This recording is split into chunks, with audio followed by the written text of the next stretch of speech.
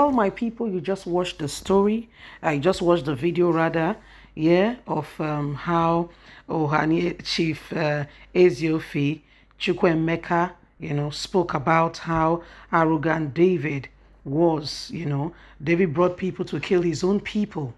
That's what he did, his own people, you know, and everybody's quiet and pretending that all is well. What sort of a nation or country are we in? You see. And uh, this is what the man is saying that everybody must act and work well. Please don't forget to give us a thumbs up, like us, share, subscribe. Let's get all the details. I read of how David Umahi brought people who killed his own people. Chief Chukwuemeka Ezeife revealed. Former governor of Anambra State, Chukwuemeka Ezeife, has revealed that he has read stories of how Governor David Umahi, the governor of Ebonyi State, who is better known as David Umahi, brought people to his, to his own state to kill his own people. The former governor, Chief Chukwuemeka Ezeife, made this revelation during an interview with Arise TV. During the interview, Chief Chukwuemeka Ezeife told people about Peter Obi's chances of winning in the forthcoming presidential election. He said that it is it is over for the ruling All Progressive Congress APC and the People Democratic Party PDP, saying Peter Obi can rule Nigeria effectively. When he was asked how Peter Obi will win the vote of Southeasterners conspiring, considering Governor David Umahi assured that the votes of the good people of Ebonyi State belongs to Bola Tinubu, and if Ohanaeze Ndigbo will formally endorse him, why Answering the question, Chief Chukwuemeka Ezeife said that although the Igbos have internal problem, but Governor David Umahi is the is his personal friend, adding that he brings rice to him every Christmas.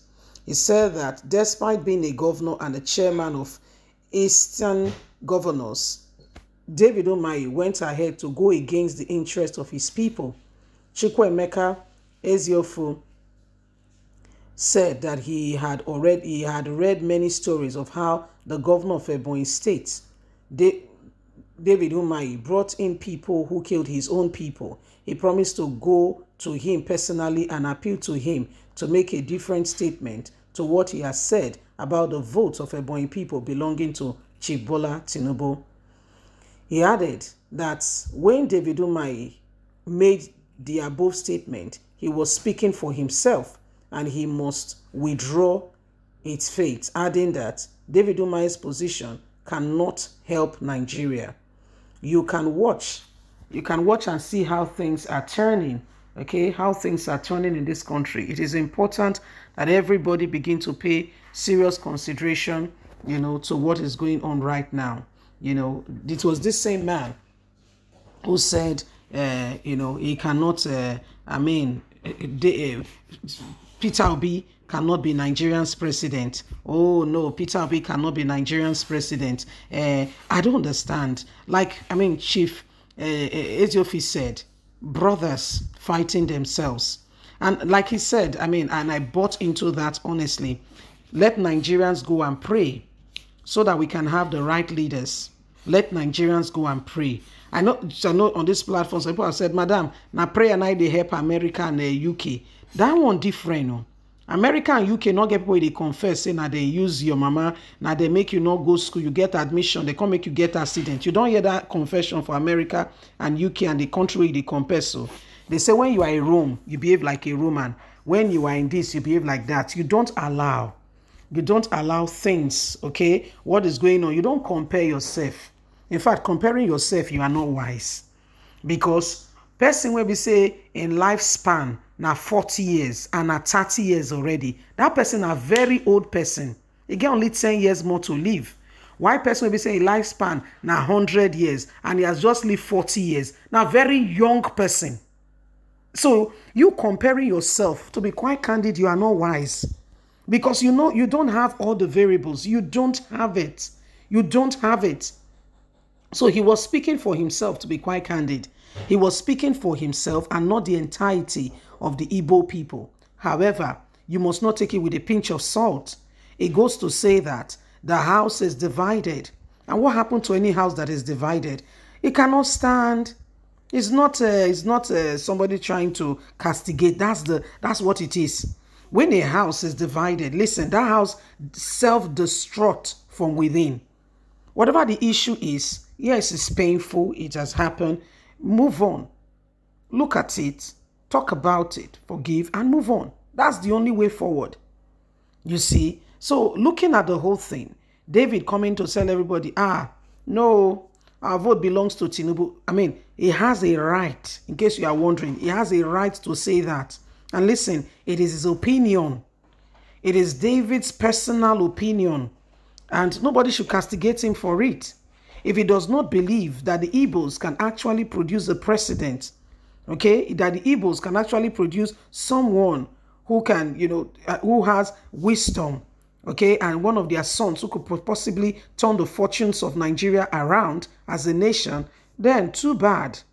But that you will go on and say, you know, uh, uh, the, Igbos are totally rude at no, no, no, you can't, you can't do that. You'll be making, you'll be, you know, be making a huge mistake, a very huge one at that. You're making a very huge mistake. So the first time you know, to have to have, you know, like like if you listen to the to the interview, Yusuf said Nigerians and Igbo, the mistake started in 19 is it 62 or 52? He said, you know, when they started seeing themselves as you know different entities instead of seeing themselves as one. Instead of seeing themselves as one, as one people, and seeing themselves as one people, speaking with one voice, speaking with one purpose, you know, speaking with one purpose. So it, it's really it's really very painful to be quite candid that these things are happening. It's truly sincerely very painful. And why we must all you know not stand in the place of uh, regret and say oh things have not worked up until now. It's okay.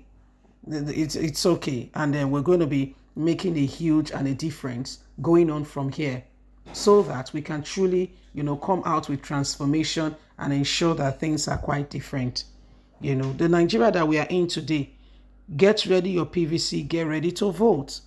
As if that is not enough, move further, go further. Apart from getting the the vote, the PVC, you must do more. You and I must do more. Okay? You and I must do more. So it is what it is. Leave us a comment. Don't forget to like us, share, subscribe. God bless. Have a lovely day. Have a fantastic one. Bye for now.